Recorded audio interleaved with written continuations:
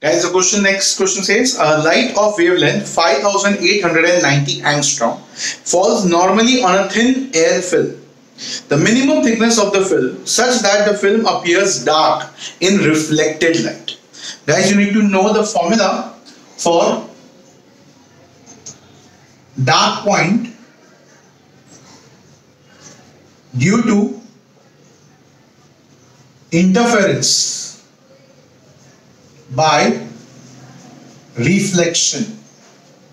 Yes guys, whenever you have thin film in which the upper surface से एक reflection होगा then there is going to be a refraction inside that film and that second film will have a second reflection because of which there is going to be an interference. So if I explain you in the form of a diagram, I can say this is medium 1, this is medium 2 and this is medium 3 or an opaque substance. It could be anything. Okay. In that scenario, say the light is coming from here and it gets partially reflected and partially refracted. Okay. So this is my incident ray. This is my reflected ray. And this is the refracted. Okay. Now here there will be a second reflection and because of the second reflection we will have second refraction. So there is going to be interference between these two waves. Okay. And because it has been reflected from a denser boundary, I can say there is a phase change of pi or 180 degree.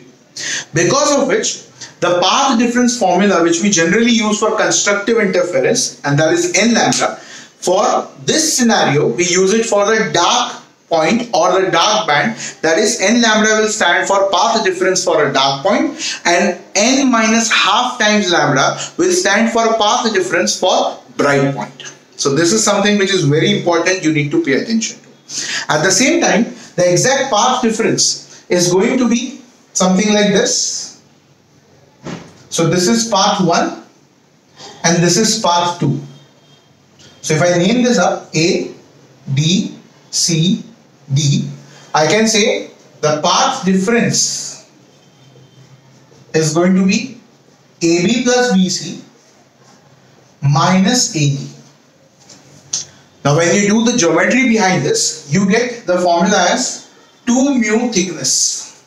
Definitely mu is refractive index of thin film which is this and T is thickness of the film. That I can take it as like this over here. T. So this is a general formula which we use for the path difference in case of reflection done by the thin film. So here I can say the interference is definitely by the reflection. So I can say 2 mu t for dark band for reflection we have the formula as n lambda okay so I can definitely say t is going to be n lambda by 2 mu now since they want a minimum thickness definitely we are going to put n as 1 so n is equal to 1 for t to be minimum. Correct?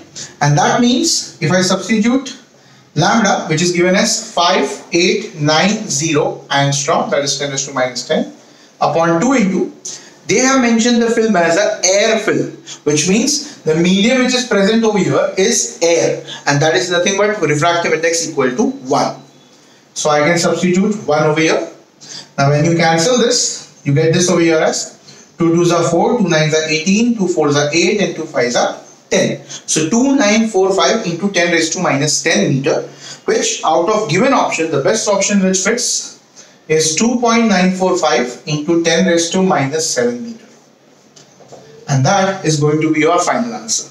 So these guys copy the solution.